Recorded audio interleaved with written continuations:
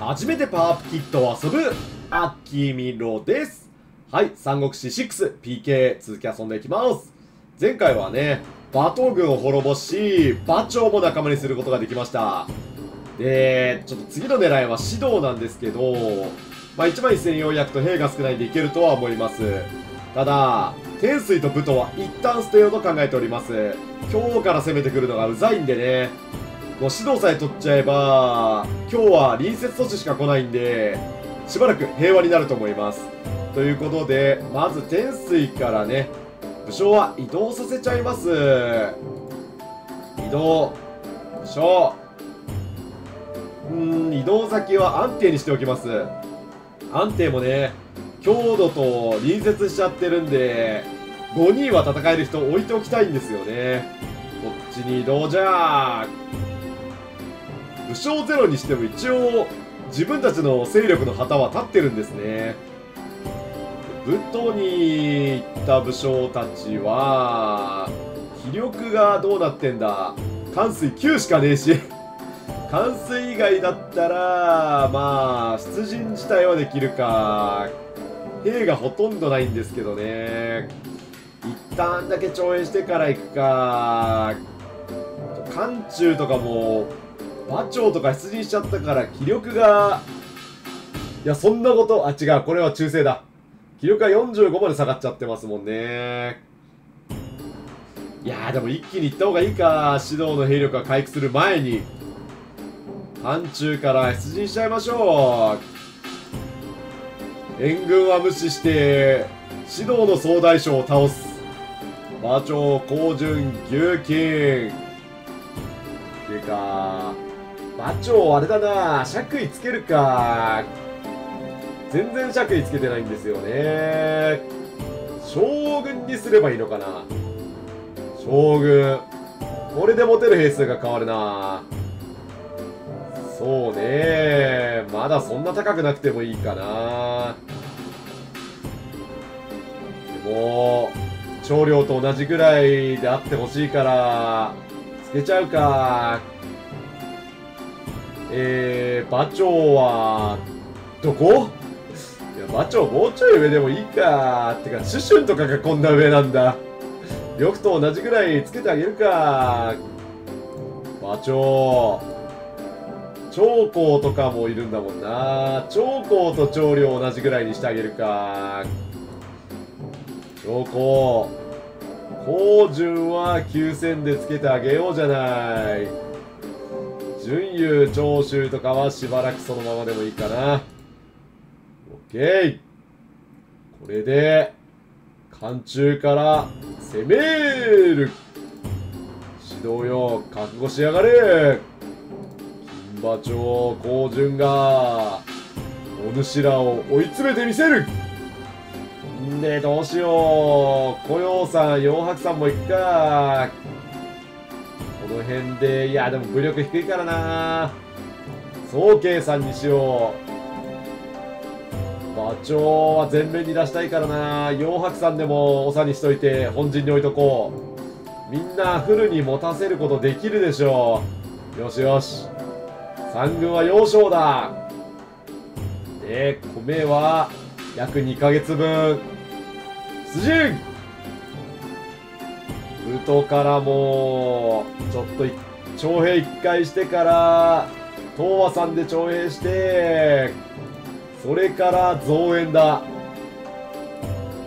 両白さんのところに両風宝船長領。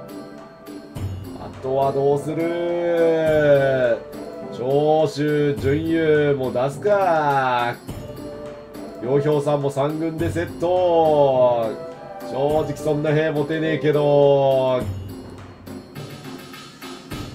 一応3000ぐらいは持たせられるか。こんなもんかな。兵がほぼ残んねえけど。もうゼロでいっか。攻められたら攻められたな。呂布行くぞ。王院様指導攻略の準備整いましたぞ。お野戦でございます。生徒からも来たなただ正規兵は一部隊のみ。この本陣に置いてる部隊以外は敵総大将を狙います。猛進の突撃じゃーって選べてね。こいつやー。これ邪魔なんだけど。これで OK みんなね同じ命令で敵総大将すぐに倒しに行きます。おっと援軍到着です。応援軍の援軍しか来てないぞ。どどうだろう。敵がどう出てくるかわかんないな。まあ一応敵総大将を狙っちゃうか。なんかすぐ援軍来そうで怖いけど。敵殲滅にしておくか。って言っても突撃命令しちゃったら奥まで行っちゃうんですけどね。まあ援軍部隊は追撃すればいいかな。追撃でね運よく戦わずして敵武将を捉えてくれる可能性ありますからね。よしこれで OK 進行じゃあ生徒からは本当なかなか来ないですね。しても指導すごいですねここ。めっちゃ山に囲まれてて。この一一方向からしか行けないというおっと生徒から援軍到着。この近くか。どうする援軍部隊はターゲットを変えるか。うまくこの援軍部隊を狙ってくれとか呂布だけ。あ間違えた。長領もこっち。呂布敵性別になってるか？大丈夫か？あとは突撃。行くぞ！ー突撃く向かった！敵に傷を負わされるとは！龍炎が負傷しました！さすら突撃龍炎の部隊が全滅。捕まえました。三軍だった理解は高知に捉えられました。龍炎が総大将だったんですね。応援軍追撃です。結果だけ見たいな。宗慶が後輩を捉えました。馬長が長所を捉えました。指導には武将が残っておりません。援軍部隊含め倒しました。わけこれで龍援軍の足がかりゲットだぜ。理解さん東洋捕虜後輩さん東洋捕虜少々さん登用。あ来た仲間入りです。遊園解放。舐められたものだなって。仕方ねえんだよルール的に。初段禁止なんだよ。男子できません。おっ甲虫軍と決着つきませんでした。炎症もしつこく高村さん攻めますね。決着つきませんでした。今度は北海か。決着つきませんでした。ああ捕虜が1年経っちゃった。刀剣東洋とても耐えられぬって解放しかできない。おお停電反乱が起きました。しかし鎮圧に成功。高村さんは終木になりました。高村さんと炎章が同盟しました。マジか。なんだ竜エル外交の者。捕虜返してか。俺は返さねえよ。捕まえてるうちに攻めるんだ。おイン殿こたびは貴殿に。相談があってもいい。龍炎殿いかがした？とりあえず要件を伺うとしよう。おイン殿お願いだ。恋を我が方に引き渡してくだされ。すまんが。包丁はある拒否冗談ではないそういうやつと返してなるものかお一人願おう恋がいないうちに攻めるんだわしが自ら参って説得したというのに残念だがらやむを得るないや解放してあげただけでもありがたいと思ってよ竜兵さん炎者は高村山のため破棄しました速攻破棄しやがったひでえな炎症だったら透明するなよ調整が高村山についた。生徒の兵は9100甲州は3万2000と甲州は多いですね。帝も3万6000もあるのか。帝が厄介だな。まずは生徒を落とそうとすれば甲州から援軍来るかなこれは。でも指導の兵が3万6700と結構減っちゃってるな武闘の兵も全部持って指導に移動しましょ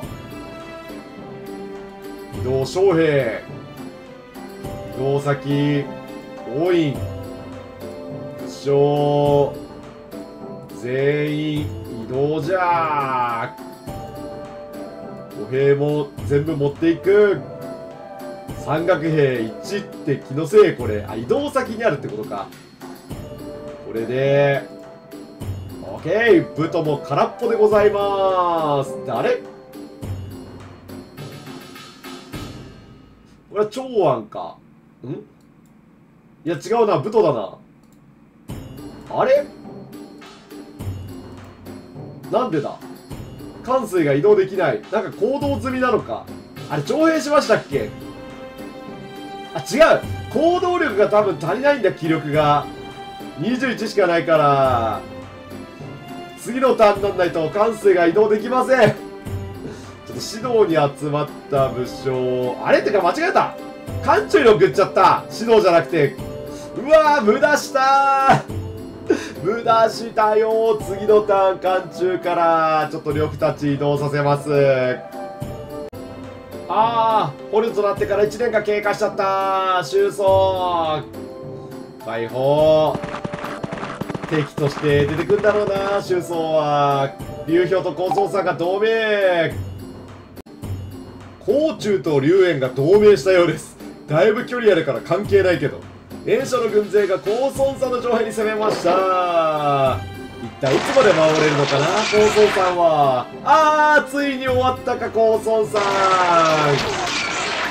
決着がでもつかなかった。でもかなり追い込まれてるな高孫さん。劉備は守りきった可否の調整が流氷についた。調整裏切りまくってんなあいつ。呂布たちがね。一応指導にたどり着いたんですけど気力がちょっと低すぎるんでしばらく我慢します。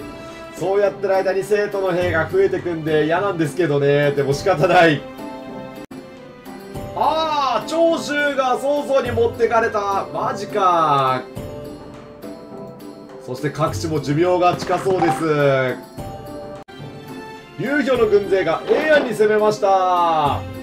こっちまで来ちゃったか。できればそこを開けといてほしかったんだけどな。隣接したくなかった。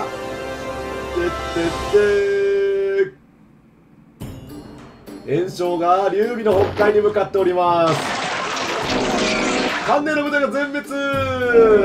これは劉備追い詰められたか。農場はしてるけどカウの部隊が全滅。やーこれは炎症が勝っちゃった。劉備滅亡です。やっぱ劉備はね前半戦はきついな。もっとね蜀の地を取った劉備なら対抗できるんだろうけどこの時代じゃ耐えられん。関連は炎症にとらわれた作遊も。各将は炎症の仲間にカウが逃がされた。高蘭は仲間に両家は囚われた海洋は囚われた流洋も囚われた。良い子は仲間に蝶は切られた。劉備は逃がされた。劉備の勢力は滅亡し歴史からその姿を消した。冠水が元気になったようです。では指導にいる武将たち気力がだいぶ回復したので生徒に攻めます。甲州は4万兵あるんですよね。まあ援軍来るだろうけど援軍は配送したところを追撃で倒す。生徒へレッツゴーや。いや手から援軍が来る可能性もあんのか。あ構わん。長州がいなくなっちゃったんでね代わりに高順馬長を連れてくか。順優どうしよっかな。順優は置いてくか。脳筋軍団でいきましょう。こうなると牛金を隊長にして牛金を本陣に置いておきましょう。全部持ってったらそれでも3万余るのか全部持っていきましょう。洋兵さんいや準優を連れてくか。三軍じゃ。で兵糧は約2ヶ月分ぐらい。いや2ヶ月入ってねえか。まあでもいっか。これでいくぞ。王院様これより生徒に攻め込みます。お打って出てきた。援軍あり甲州からどれぐらい来るかな。そうか。関所があるのか。これは指導から生徒だからなんだろう。剣閣は指導の前だもんな。花房館とかか？いや花房館もちげえか。不水館か。やばい。ちょっと今三国志ね別のナンバリングのマップを頭に描いてたんですけどあれなんだっけって感じになってるな。不水館だったような気もする、まあ、とりあえず敵総大将にして縄文突破や。このね本拠地にいる武将以外は全員門に向けて同じ命令で突っ込ませます。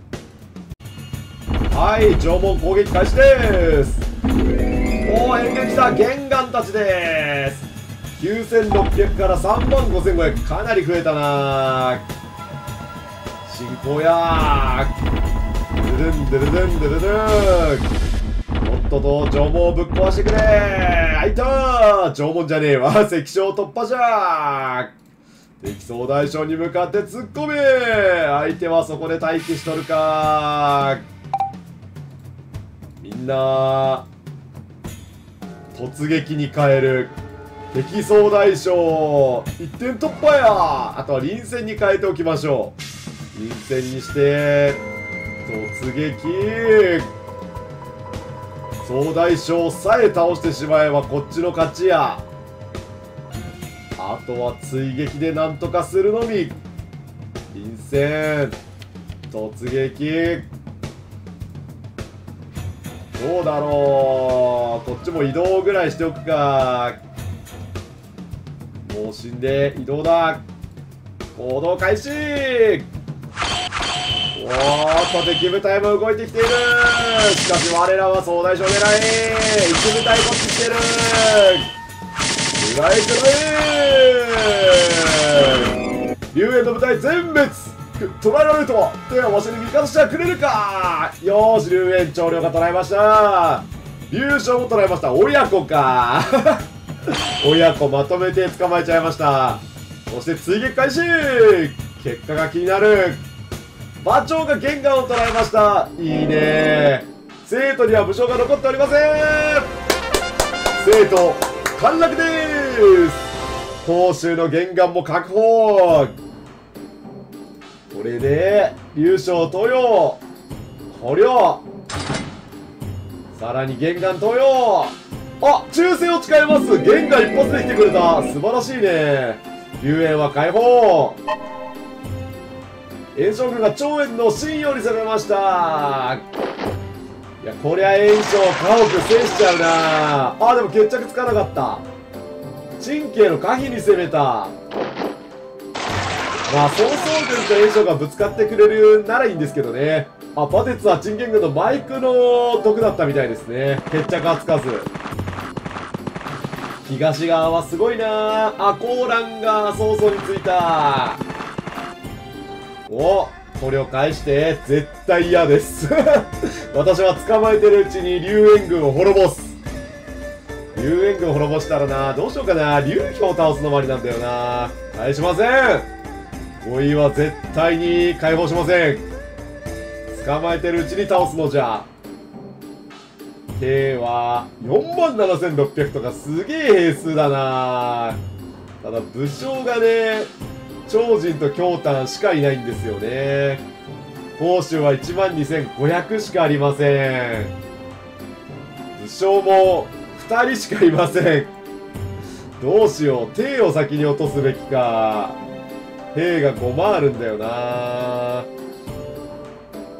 むしろ同時に行ってもいいぐらいだけど武将がな分かれちゃってんだよな。兵多分出陣するのにそこまで兵を持てないはず。持てる兵数とかまでは見れないか。そうだな京丹も。言うてそこまではない気がするんだよな。ここは徴兵ができるのか金河もう一番切ってんのか。今帝の城壁は0人これ以上徴兵することはできないみたいですね。じゃちょっと気力回復するのを待とうかな。もう一回出ちゃうと防衛ができなくなる。まあ攻められる心配はないか。でもどっちにしてもこっちも懲役徴兵するのがゼロなんでこれ以上武将増えようがないんでそうですね。ちょこっと武将の移動とかもしてから攻めようかな。神経と曹操が同盟したようです。すぐ破棄すんじゃねえの？あ龍炎の軍団が懸命に攻めました。ただでさえ少ない兵を分けやがった。いやーこりゃあちょっと甲州取ってくれと言わんばかりでしょう。てってっていやー何番に滅ぼされんじゃねえのこれ。そうそう甲冑の方に攻めたか。早々は早々で広げたがってるけど。ああ負けたみたいですね。いや破ったのか。巨長が甲冑に使えてたってだけか。曹操も広がってきております。曹操軍が飛車を捉えた。竜陽を捉えた。巨長は早々に取られました。飛車も炎書の軍勢が超援軍の信用にまた行った。そろそろ耐えられないんじゃないかな。やっぱり見事に打ち破りました。課題まで来たら落葉と隣接しちゃうよ。わーっと超援軍は歴史からその姿を消しました。怖いな。落葉今武将4人しかいないんでそろそろここにも武将置いてかないと守りきれないですね。生徒の緑たちの気力は80とか90まで来たか。これならいけるか。怖えな。なんか徴兵化がすげえ増えてる。やっぱ武将が少ないうちだな。2人だけなら。といけると信じて出陣だ。お力長領高順馬長牛金。ぞ